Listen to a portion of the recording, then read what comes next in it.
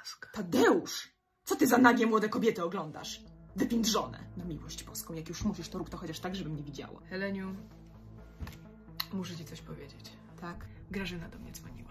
Jaka Grażyna do cholery? Tadeusz, czy ja o czymś nie wiem? Twoja siostra. A, ta Grażyna. A po co ta lampucera do ciebie dzwoni? Przyjeżdża za parę dni nas odwiedzić. A kto ją tu zapraszał? Skarbie. Rodzina ją lubi. A czemu do mnie nie zadzwoniła? Heleniu, przecież już dawno zablokowałaś jej numer. Przyjedzie, żeby się pokazać, wdzięczyć. Mam nadzieję, że się postarzała, zbrzydła i przytyła. To ona. Przysłała zdjęcia.